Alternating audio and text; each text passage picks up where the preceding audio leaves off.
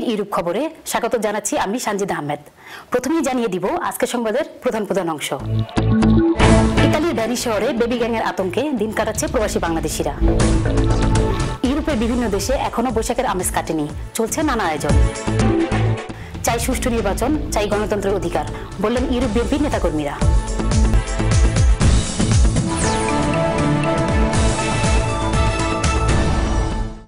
দর্শক, এবার বিস্তারিত। সম্প্রতিকালে ইতালিতে বসবাসরত প্রবাসী বাংলাদেশিরা নানাভাবে হামলা শিকার হচ্ছে। ভ্যানিস শহরের বেবি গ্যাং নামক একটি চক্রের আতঙ্কে দিন কাটাচ্ছে প্রবাসী বাংলাদেশিরা। গত কয়েক মাসে ভ্যানিস শহরে ত্রিশ থেকে চল্লিশ জন বাংলাদেশের উপর হামলা করেছে বেবি গ্যাংয়ের সদস্যরা। এই গ্যাংয়ের নেককারজনক কর্মকাণ্ডের প্রতিবাদে ভ্যানিসে বসবাসরত প্রবাসী বাংলাদেশিরা মানববন্ধন করেছে। আমাদের ভ্যানিস প্রতিনিধি মেজবা উদ্দিনকে সাথে নিয়ে বিস্তারিত জানাচ্ছেন শাওন আহমেদ।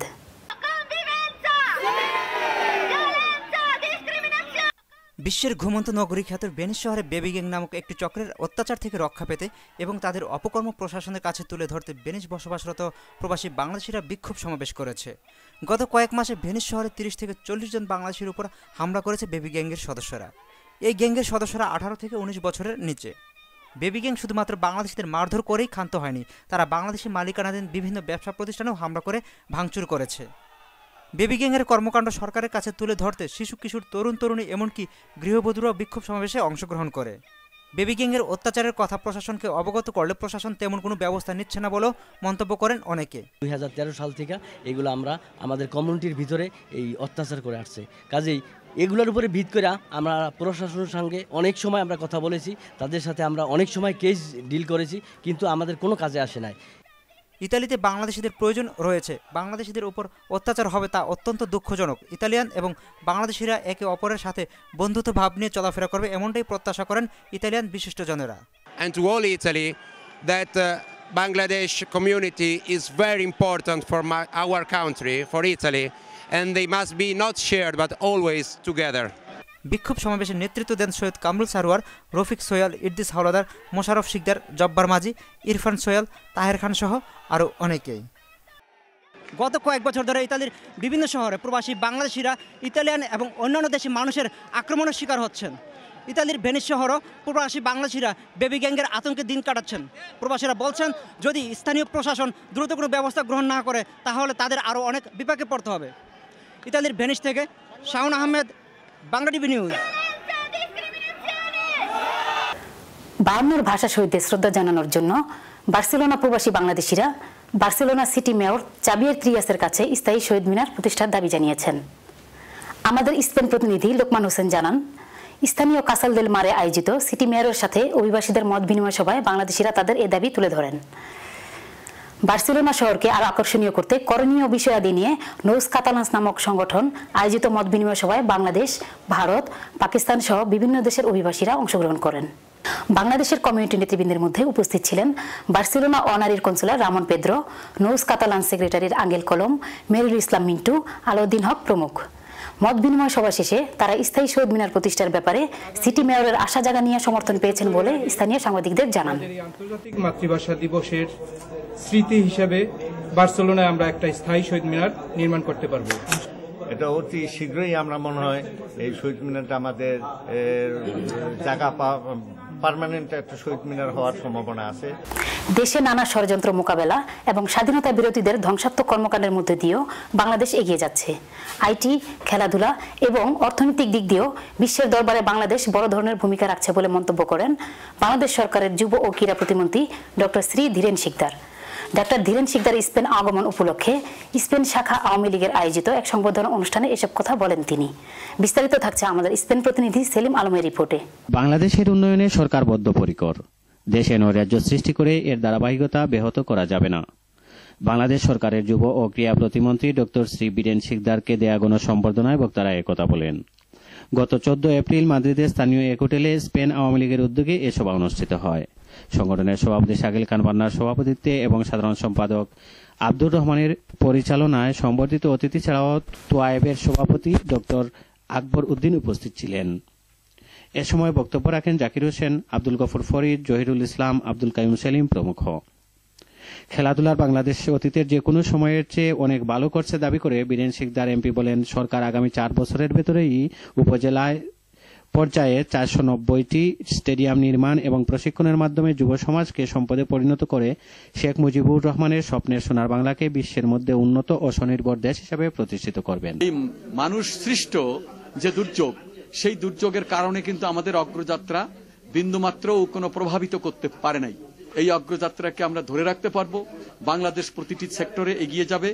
বাংলাদেশ অবশ্যই দুই হাজার একুশ সালের মধ্যে সমৃদ্ধ বাংলাদেশ স্বনির্ভর বাংলাদেশ নিজের পায়ে দাঁড়ানো বাংলাদেশে পরিণত হবে। স্পেনের মাদ্রিদ থেকে সেলিম আলম বাংলা টিভি। বাংলাদেশ জাতীয়তাবাদী দলের chairperson Begum Khaleda Zia Dhaka city corporation নির্বাচনের প্রচার কার্যে মাঠে নেমে আসলে হামলার শিকার হন। তার উপর এ ধরনের হামলা এবং বিশ দলীয় জোটের নেতাকর্মীদের অহেতুক হয়রানির প্রতিবাদে সংবাদ সম্মেলন করেছে ইতালি বিএনপি নেতাকর্মীরা। বিস্তারিত থাকছে আমাদের প্রতিনিধি শাওন আহমেদের রিপোর্টে। গত কয়েকদিনের মধ্যে সাবেক প্রধানমন্ত্রী বাংলাদেশ জাতীয়তাবাদী দলের সভানেত্রী বেগম খালেদা জিয়া ঢাকা সিটি কর্পোরেশন নির্বাচনের মেয়র প্রার্থীর পক্ষে প্রচারকালে হামলার শিকার হন। খালেদা জিয়ার উপর বর্বরচিত হামলা এবং দেশের বিএনপির নেতাকর্মীদের অহেতুক হয়রানির প্রতিবাদে রোমের পিয়াচা ভিত্তুরেতে ইতালি বিএনপির নেতাকর্মীরা সংবাদ সম্মেলন করেছে। সংবাদ সম্মেলনে লিখিত বক্তব্য পাঠ করেন ইতালি বিএনপির সাবেক যুগ্ম সাধারণ সম্পাদক খন্দকার নাসির উদ্দিন তিন তিনবারে নির্বাচিত সাবেক প্রধানমন্ত্রী দেশের বৃহত্তর জনগোষ্ঠীর নেতা খালদা জিয়াকে নিরাপত্তা দেওয়া সরকারের দায়িত্ব, কিন্তু সরকার তা দিতে ব্যর্থ হয়েছে। আমরা প্রবাসী জনগণ দেশনেত্রী আমাদের প্রিয়নেত্রী বিএনপি চেয়ারপারসন বেগম খালদা জিয়ার গাড়িবহর উপর হামলার ঘটনায় তীব্র নিন্দা ও প্রতিবাদ জানাচ্ছি। লিখিত বক্তব্য পাঠ শেষে সাংবাদিকদের বিভিন্ন প্রশ্নের উত্তর দেন ইতালি বিএনপির সাবেক সভাপতি লকিতুল্লাহ, সহসভাপতি শাহ মোহাম্মদ তাইফুর রহমান ছোটন, মোজাম্মেল হক দীপু, বিএনপি নেতা ঢালি নাসিরুদ্দিন, হুমায়ুন কবির, নুরুল আফসার সহ আরও অনেকেই। সংবাদ সম্মেলনে সংগঠনের নেতাকর্মীরা বলেন, দেশনেত্রী বেগম খালেদা জিয়া যদি পুনরায় এ ধরনের হামলার শিকার হন, তাহলে আওয়ামী লীগের যে কোনো নেতাকর্মী ইতালিতে আসলে তাকে প্রতিহত করা হবে। তারা আরও বলেন, দেশের বর্তমান পরিস্থিতি এবং সরকারের নানা অনিয়মের তথ্যচিত্র অচিরেই ইউরোপ ইউনিয়ন সহ বিভিন্ন স্থানে প্রকাশ করা হবে।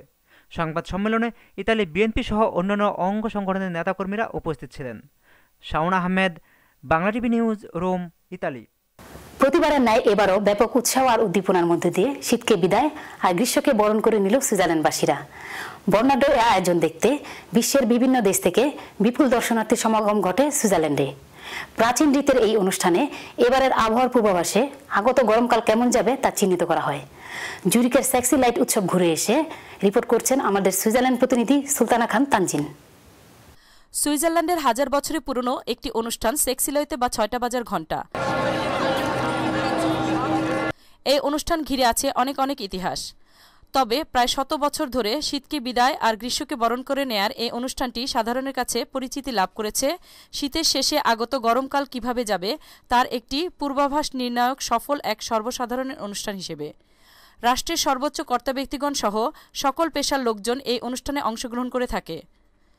জুরিখের প্রধান প্রধান শহর প্রদক্ষিণ শেষে স্নোম্যান বা বগের গায়ে আগুন জ্বালিয়ে তাকে ঘিরে কয়েক শত অশ্বারোহী দল প্রদক্ষিণ করে সেক্সিলয়তের প্লাস। ভগের শেষ বিস্ফোরণ না ঘটা পর্যন্ত পর্যায়ক্রমে চলতে থাকে। যত তাড়াতাড়ি বক পুড়ে বিস্ফোরিত হবে, আগত গ্রীষ্ম তত ভালো যাবে। সে হিসেবে এবছরের আগত সামারের ভাগ্য মোটেই ভালো নয়। যদিও এই পরিসংখ্যানে গত কয়েক বছরের মধ্যে মাত্র এক দুবার এই পুরনো কালের রীতি মোতাবেক সামারের পূর্বাভাস বাস্তব সত্য হয়েছিল। তারপরও পুরনো বিশ্বাস আর ধ্যান ধারণার এই উৎসবে পড়ে না কোনো ভাটা। প্রতি বছরই বাড়ছে দর্শক আর অংশগ্রহণকারীর সংখ্যা। অনুষ্ঠানটি উপভোগ করতে প্রায় অর্ধ লক্ষাধিক ট্যুরিস্ট এই সময় সুইজারল্যান্ড ভ্রমণ করে থাকেন।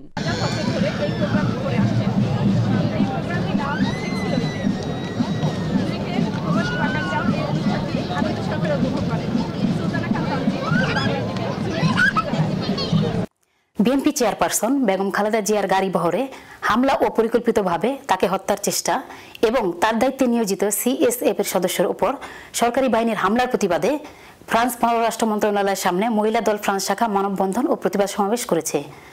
আমাদের ফ্রান্স প্রতিনিধি লুৎফর রহমান বাবু জানান, গত বৃহস্পতিবার বিকালে প্যারিসের ইনভ্যালিডে জাতীয়তাবাদী মহিলা দল ফ্রান্সের সভাপতি মমতাজ আলো সভাপতিত্বে ও সাধারণ সম্পাদিকা জেবুনাহারের পরিচালনায় বক্তব্য রাখেন ফ্রান্স বিএনপি সাবেক সভাপতি সিরাজুর রহমান সহ সভাপতি মনির হোসেন সহ সাধারণ সম্পাদক রেজাউল করিম, কায়ুম সরকার, শ্যামল দাস সানি আরিফ হাসান, মহিলা দলের সহ সভাপতি ফরিদা জিয়া, মহিলা নেত্রী শারমিন লাকি, চাঁদনি আহমেদ, বিএনপি নেতা খুরশিদ আলম সহ আরও অনেকে।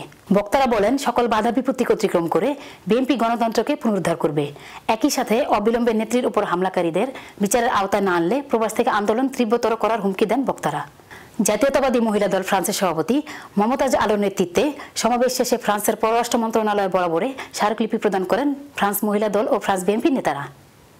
ইতালির ভ্যানিসে প্রবাসীদের সুবিধার কথা ভেবে বাংলাদেশি মালিকানাধীন পপুলার ট্রাভেলসের নতুন শাখা উদ্বোধন করা হয়েছে ভ্যানিসের মেসরে এলাকায়। আমাদের ভ্যানিস প্রতিনিধি মেজবা উদ্দিন জানান, ব্যাপক জাঁকজমকভাবে ভ্যানিসের মাটিতে পপুলার ট্রাভেলসের শাখা উদ্বোধন করা হয়। উদ্বোধনী অনুষ্ঠানে উপস্থিত ছিলেন পপুলার ট্রাভেলস অ্যান্ড ট্যুরসের চেয়ারম্যান জাহাঙ্গীর ফরাজি ন্যাশনাল এক্সচেঞ্জের চেয়ারম্যান ইদ্রিস ফরাজি এবং ভ্যানিসে বসবাসরত বিভিন্ন রাজনৈতিক, সামাজিক ও সাংস্কৃতিক অঙ্গনের নেতৃবৃন্দ। প্রবাসীরা বলছেন পপুলার ট্রাভেলসের এই শাখা উদ্বোধন হওয়ার কারণে ভ্যানিসে বসবাসরত প্রবাসী বাংলাদেশিদের অনেক সুবিধা হবে। দর্শক, এবার নিচ্ছি ছোট্ট একটি বিরতি, আর ফিরে এসে যা থাকছে। ইউরোপের বিভিন্ন দেশে এখনও বৈশাখের আমেজ কাটেনি, চলছে নানা আয়োজন। বাংলাদেশকে মধ্য আয়ের দেশে পরিণত করতে শেখ হাসিনার কোনো বিকল্প নেই, বললেন ইউরোপ আওয়ামী লীগের নেতাকর্মীরা।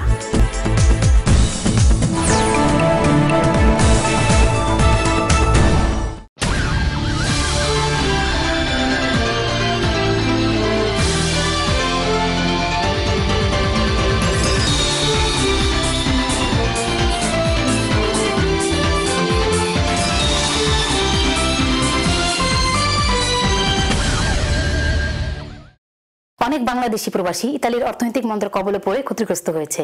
আবার অনেকে ব্যবসা বাণিজ্য করে প্রবাসের মাটিতে যেমন স্বাবলম্বী হচ্ছেন, পাশাপাশি তাদের মাধ্যমে দেশও পাচ্ছে বড় অঙ্কের রেমিটেন্স বিদেশিদের কথা নয়, দেশীয় মানুষের চাহিদার কথা ভেবে ব্যবসা প্রতিষ্ঠান গড়ে তুলেছে মনির হোসেন নামের এক বাংলাদেশি। তার প্রতিষ্ঠানের মাধ্যমে তিনি যেমন স্বাবলম্বী হচ্ছেন, পাশাপাশি অনেকেই পাচ্ছেন কর্মসংস্থান। বিস্তারিত থাকছে ডেস্ক রিপোর্টে ইতালিতে অর্থনৈতিক মন্দার যে বাতাস বইছে তা কবে নাগাদ কাটিয়ে উঠবে তা কেউই ধারণা করতে পারছে না। অর্থনৈতিক এই মন্দার কারণে অনেক প্রবাসী বাংলাদেশি ব্যবসায়ী, চাকুরি বা অন্যান্য দিক দিয়ে হিমশিম খাচ্ছে। ইতালি প্রবাসী বাংলাদেশিরা সব স্থানেই একই ধরনের ব্যবসা প্রতিষ্ঠান গড়ে তুলছে বিদায় ব্যবসায়িকভাবে ভালো করতে পারছে না। বাংলাদেশিরা যদি ক্রেতাদের চাহিদা কিংবা সময়োপযোগী ব্যবসা প্রতিষ্ঠান গড়ে তোলে, তাহলে অনেক লাভবান হবে, এমনটাই মন্তব্য করছেন একজন মিষ্টি ব্যবসায়ী। কারণ এত এই ক্রেজি অবস্থায়ও ইটালির কারণ আমি যে পণ্যটা দিতেছি যে মিষ্টি দিতেছি সবাই খায় খুব প্রশংসা করতেছে এবং মনে করেন যে বাংলাদেশি ভাই বোন যারা আছে সবাই আমার এখানে আসতেছে। প্রায় তিন চারশো কেজি মিষ্টি বানাই। আলহামদুলিল্লাহ সবই বিক্রি হয়ে যাচ্ছে। তার প্রতিষ্ঠানে অনেকের কর্মসংস্থানও হয়েছে। এখানে কাজ করতে পেরে অনেকেই আনন্দিত। কেউ এক বছর হয় আমি কাজ করতেছি। এখন অন্য অন্য দিক দিয়ে আর কি আমি এখানে আর কি তো ভালো আছি আর কি। কাজের দিক দিয়ে সব দিক দিয়ে এখন একটু বর্তমানে ভালো আছি। ক্রেতাদের চাহিদা মোতাবেক এই ধরনের প্রতিষ্ঠান হাতের নাগালে পেয়ে অনেকেই আনন্দিত।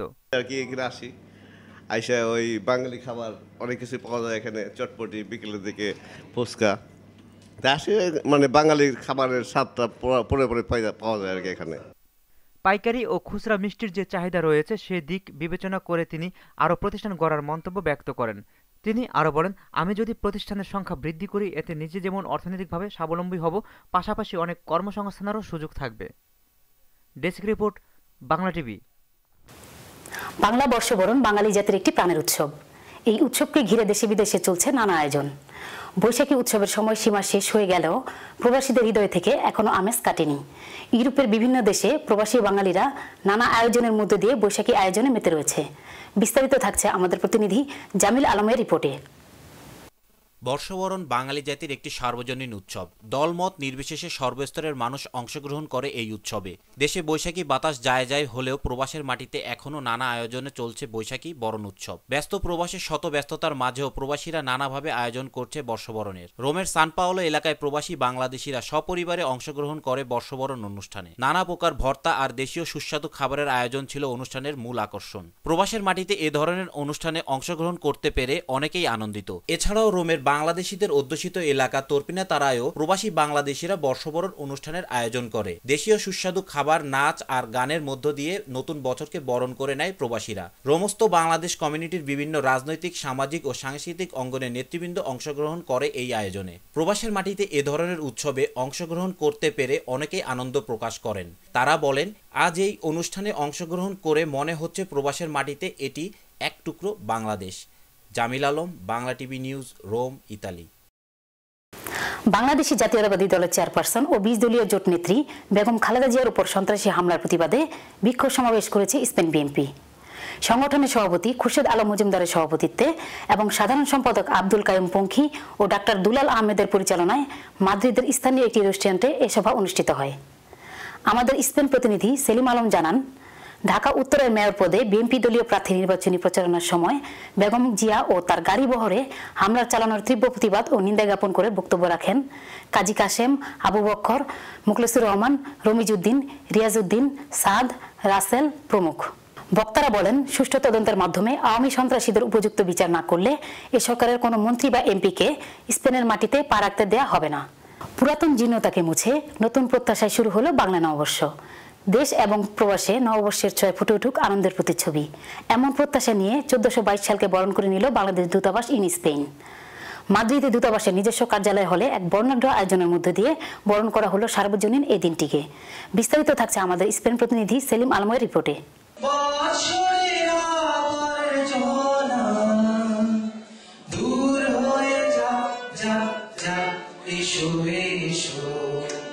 এসো। সকল ভেদাভেদ ভুলে শান্তির পতাকা তোলে এক হওয়ার আহ্বান জানিয়ে অনুষ্ঠিত বৈশাখী উৎসবে গণমানুষের সংস্কৃতিকে প্রবাসে বেড়ে ওঠা নতুন প্রজন্মের কাছে পরিচয় করিয়ে দেওয়ার দায়িত্ব সকল অভিভাবকের। স্পেনে বাংলাদেশের অভিভাবক হিসাবে তাদের এই আয়োজন বলে জানান দূতাবাসের chargé d' affaires Shakawat Hossain. Commerce minister Nabid Shafiullah ও শরীফুল ইসলাম সকলকে শুভেচ্ছা জানান। এ সময় দূতাবাসের কর্মকর্তাবৃন্দ ছাড়াও বাংলাদেশ কমিউনিটির নেতৃবৃন্দ উপস্থিত ছিলেন। অনুষ্ঠানে হরেক রকম বাঙালি বাহারি খাবার ছাড়াও আয়োজন ছিল সাংস্কৃতিক অনুষ্ঠানের। স্পেনের বাংলাদেশ দূতাবাসের পক্ষ থেকে নববর্ষের অনেক অনেক শুভ নববর্ষ। সকল বাংলাদেশিদের জানাই বাংলা নববর্ষ চোদ্দশো বাইশের শুভেচ্ছা। শুভ নববর্ষ। সকলের জন্য শুভকামনা। নতুন বছরে সুখ সমৃদ্ধি আসুক সবার ঘরে, দেশ এগিয়ে যাক উন্নয়নের স্বর্ণ শিখরে, এমনটাই প্রত্যাশা প্রবাসীদের। Selim Alam, Bangla TV, Spain. ইতালির মিলানে নোয়াখালী সমিতির প্রতিষ্ঠাতা সভাপতিকে বিদায় সংবর্ধনা দিয়েছে বৃহত্তর নোয়াখালী সমিতি। রবিবার স্থানীয় একটি রেস্টুরেন্টে সমিতির সভাপতি হারুন রশিদের সভাপতিত্বে এবং নজরুল ইসলামের সপরিচালনায় সবার শুরুতে পবিত্র কোরআন তালত এবং ভূমিকম্পে নিহত সকলের স্মরণে এক মিনিট নিরবতা পালন করা হয়। আমাদের মিলান প্রতিনিধি আলামিন জানান ইতালির মিলানে নোয়াখালী সমিতির প্রতিষ্ঠাতা সভাপতিকে বিদায় সংবর্ধনা দিয়েছে বৃহত্তর নোয়াখালী সমিতি। রবিবার স্থানীয় একটি রেস্টুরেন্টে সমিতির সভাপতি হারুনুর রশিদের সভাপতিত্বে এবং নজরুল ইসলামের পরিচালনায় সবার শুরুতে পবিত্র কোরআন তেলাওয়াত এবং ভূমিকম্পে নিহত সকলের স্মরণে এক মিনিট নিরবতা পালন করা হয়। সবার বক্তব্য রাখেন সমিতির উপদেষ্টা হানিফ পাটোয়ারি, জাকির হোসেন, মাহবুব আলম, বিএনপির ভারপ্রাপ্ত সভাপতি আবদুল্লাল মামুন, ফিরোজ আলম, আবুল খায়ের প্রমুখ। সংবর্ধনার জবাবে বিদায়ী সভাপতি, তার বক্তব্যে তিনি এই সমিতির সাফল্য কামনা করেন এবং সমিতির সকল কার্যক্রমে সহযোগিতা অব্যাহত থাকবে বলে অঙ্গীকার করেন।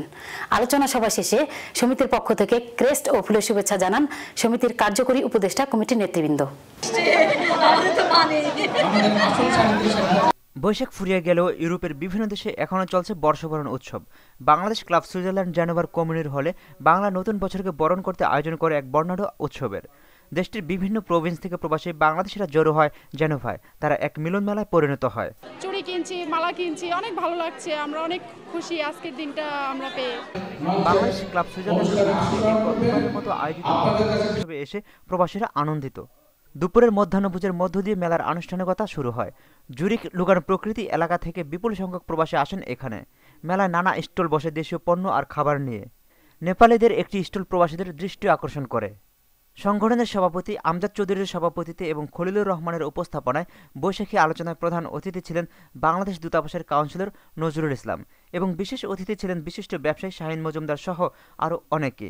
অনুষ্ঠানে সাংস্কৃতিক পর্বে ভারতীয় বলিউড শিল্পী পবন দাস ছাড়াও ফ্রান্স থেকে আগত কণ্ঠশিল্পী রানা, কুমকুম এবং নৃত্যশিল্পী নোভা দর্শকদের মাতিয়ে রাখেন।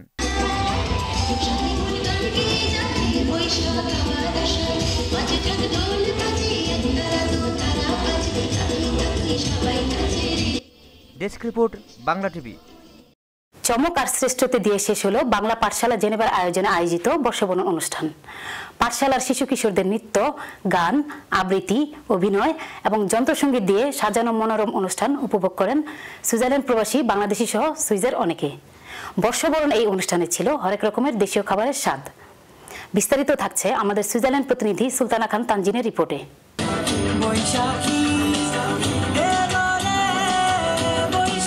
মুছে যাক গ্লানি, ঘুচে যাক জরা অগ্নি স্নানে সূচি হোক ধরা। শুভ বাংলা নববর্ষ, চোদ্দশো বাইশ। জেনেভার স্থানীয় পাকি আন্তঃসাংস্কৃতিক কেন্দ্রের হলরুমে বাংলা স্কুল জেনেভা তার দ্বিতীয় বর্ষপূর্তি এবং বাংলা বর্ষবরণের এক চমকপ্রদ অনুষ্ঠানের আয়োজন করে। জাতীয় সংগীত এবং বৈশাখী গান দিয়ে শুরু হওয়া অনুষ্ঠানে বাংলা পাঠশালা শিশু কিশোর, ইতি, সিয়াম, আফসারা, দিলারা, মিতু, শাসা, অনিমা, দিহান, আনিসা, অধীরা আবৃত্তি, নৃত্য, গান এবং অভিনয় করেন।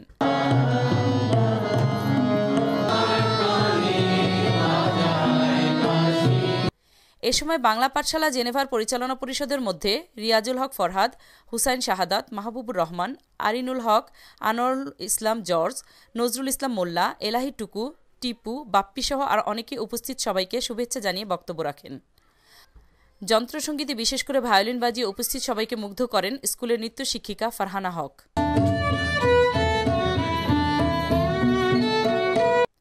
অন্যান্যদের মধ্যে সংগীত পরিবেশনা করেন ইতি কান্তা পুনম মুক্তি রুমা এবং শাহাদাত হোসাইন।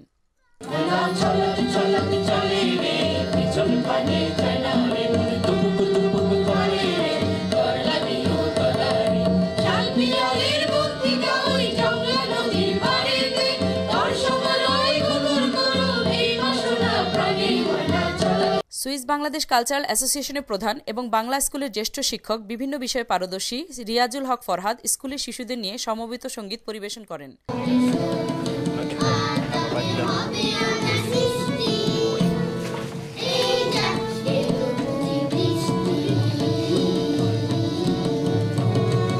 বর্ষবরণ এই অনুষ্ঠানে ছিল হরেক রকমের ভর্তা, পান্তা, ইলিশ আর ফিন্নি পায়েস সহ অনেক অনেক সহি বাংলা মিষ্টানের বিশেষ ব্যবস্থা। বিএনপি চেয়ারপারসন খালেদা জিয়ার গাড়ি বহরে হামলার প্রতিবাদে প্রতিবাদ সভা করেছে মিলান বিএনপির নেতাকর্মীরা। আমাদের মিলান প্রতিনিধি আলামিন জানান মিলান বিএনপির ভারপ্রাপ্ত সভাপতি আবদুল্লাহ আল মামুনের সভাপতিত্বে এবং সাধারণ সম্পাদক হোসেন মোহাম্মদ মনিরের পরিচালনায় সভায় বক্তব্য রাখেন সহ সভাপতি শাহিন হাওলাদার, সাংগঠনিক সম্পাদক হারুনুর রশিদ, আশরাফ আলম, সিদ্দিকুর রহমান, যুবদলের সভাপতি তুফাজ্জল হোসেন তপু, একে রুহুল সহ আরও অনেকে। বক্তারা খালেদা জিয়ার উপর হামলার তীব্র নিন্দা ও প্রতিবাদ জানান। সিটি নির্বাচনে বিএনপির পক্ষে গণজোয়ার দেখে সরকার উন্মাদ হয়ে বেগম খালেদা জিয়ার গাড়িতে হামলা চালিয়েছে বলেও মন্তব্য করেন তারা। দেশে গুম, খুন, হত্যা, সন্ত্রাস এবং নারী নির্যাতন এখন নিত্যদিনের ঘটনা। আর বর্তমান সরকারকেই এসবের জন্য দায়ী করেন বক্তারা। সবাই বিএনপি ও সহযোগী অঙ্গ সংগঠনের নেতাকর্মীরা উপস্থিত ছিলেন। সুইজারল্যান্ডের জুরিকে ইউনাইটেড কমিউনিটির উদ্যোগে উদযাপন করা হলো বৈশাখী উৎসব। নানা রঙে ঢঙে মেতে ওঠে প্রবাসী বাংলাদেশিরা। প্রবাসের মাটিতে এ ধরনের আয়োজনে অংশগ্রহণ করতে পেরে অনেকেই আনন্দ প্রকাশ করেন। বিস্তারিত থাকছে কাউসার হালাদারের রিপোর্টে। সুইজারল্যান্ডের জুরিকে বাংলাদেশ ইউনাইটেড কমিউনিটির আয়োজনে পালিত হলো বাংলা বর্ষবরণ উৎসব।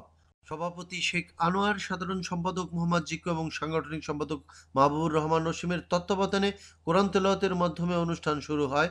এরপর শুভেচ্ছা বক্তব্য রাখেন উপদেষ্টা কবির মোল্লা, হারুন ব্যাপারী, সেলিম মোল্লা, খান শরীফ, কারার কাউসার সহ অনেকে।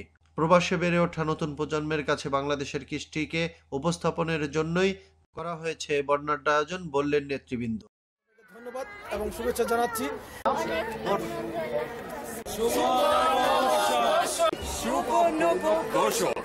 সুরের মূর্ছনায় দর্শক মাতালেন বাংলাদেশ থেকে আগত পাওয়ার ভয়েস তারকা শামীম ও সজল সহ ইটালি, ফ্রান্স ও সুইজারল্যান্ডের শিল্পীবৃন্দ।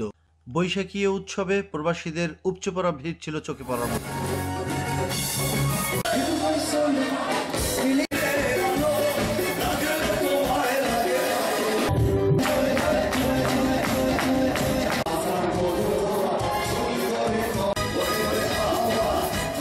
Kawsar Howlader, Bangla TV news Zurich Switzerland. দর্শক, এই ছিল আমাদের আজকের মতো। পরবর্তী খবর দেখার আমন্ত্রণ জানিয়ে আজকের মতো এখানেই বিদায়। যাবার আগে আরেকবার জানিয়ে দিচ্ছি, আজকের সংবাদের প্রধান প্রধান অংশ। ইতালির ভ্যানি শহরে বেবি গ্যাংয়ের আতঙ্কে দিন কাটাচ্ছে প্রবাসী বাংলাদেশিরা। ইউরোপের বিভিন্ন দেশে এখনও বৈশাখের আমেজ কাটেনি। চলছে নানা আয়োজন। চাই সুষ্ঠু নির্বাচন চাই গণতন্ত্রের অধিকার, বললেন ইউরোপ বিএনপির নেতাকর্মীরা।